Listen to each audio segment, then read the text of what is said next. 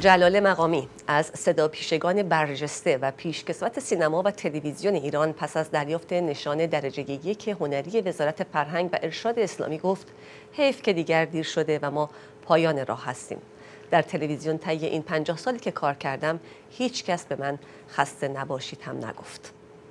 به گفته منتقدان شمار بزرگی کارورزان پیشکسوت سینما و تلویزیون ایران در اوج پختگی هنریشون به دلیل سختگیری های حکومتی خانه نشین شده یا راه مهاجرت رو در پیش گرفتند. با سلام و درود گرم خدمت شما عزیزان بیننده جلال مقامی یکی از انگشت شمار کارورزان سینما و تلویزیون ایران است که پس از انقلاب هم توانست به کار خود ادامه دهد. هرچند او با تحمل همه سختی ها و سختگیری های حکومت جدید آنچه را در توان داشت به کار گرفت تا هم به عنوان صدا پیشه در فیلم ها و هم مدیر دوبلاژ این حرفه مهم اما در خطر را توسعه دهد.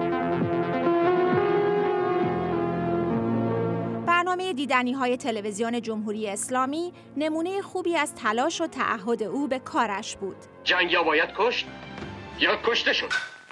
اون مردی که طرف صحبت شماست یک انسان ساکت در این ها ساکت نیست. صدای جلال مقامی به جای ستارگان برجسته سینمای جهان از جمله رابرت ردفورد، مارچلو ماستریانی، عمر شریف و داستن هافمن در نسخه فارسی زبان این فیلم ها چنان طبیعی جلوه می کرد که مخاطبان فارسی کمتر می توانستند زبان فیلم ها را چیزی افسوده شده به فیلم بدانند. حالا و پس از پنجاه سال فعالیت هنری و حرفه‌ای، وزارت فرهنگ و ارشاد اسلامی مدال درجه یک هنر را به جلال مقامی واگذار کرد تا از هنرش قدردانی شده باشد.